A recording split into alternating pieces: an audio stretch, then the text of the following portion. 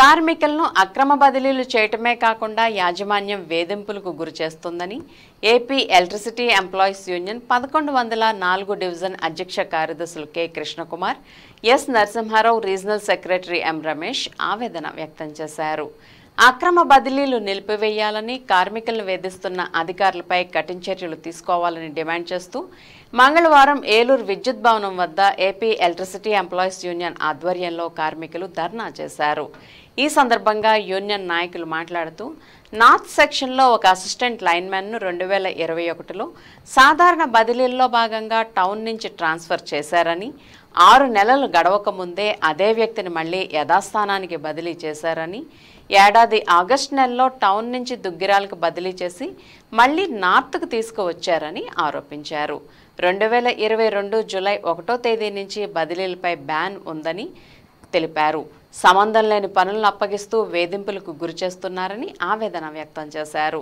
అధికారుల నిర్లక్ష్య వైఖరి కారణంగా సబ్స్టేషన్లో బ్రేకర్స్ పనిచేయడం లేదని అక్రమ బదిలీలను వెంటనే నిలుపుదల చేయాలని కార్మికులపై వేధింపులు ఆపాలని డిమాండ్ చేశారు. లేకుంటే ఆందోళన కార్యక్రమాలు ఉధృతం చేస్తామని హెచ్చరించారు. ఈ కార్యక్రమంలో యూనియన్ డివిజనల్ ఆర్గనైజింగ్ కార్యదర్శి M Gandhi working president Muralimohan తదితర నాయకులతో పాటు కార్మికులు పెద్ద ఎత్తున పాల్గొన్నారు.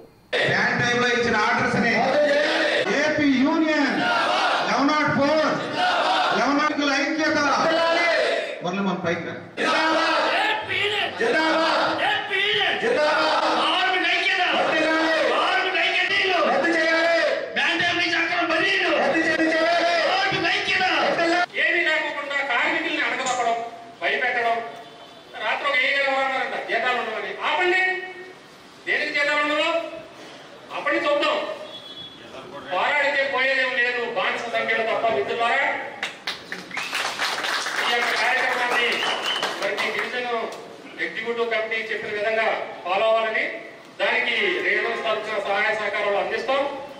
మీరందరూ కూడా చైతన్యవంతంగా ఈ సమస్య ఏదో పురుషుతో పడాలి దీనికి. అది పడే వరకు మీరందరూ సంయమం సహనం పాటించాలని హృదయపూర్వక విజ్ఞప్తి చేస్తూ తాత్కాలిక సెలవు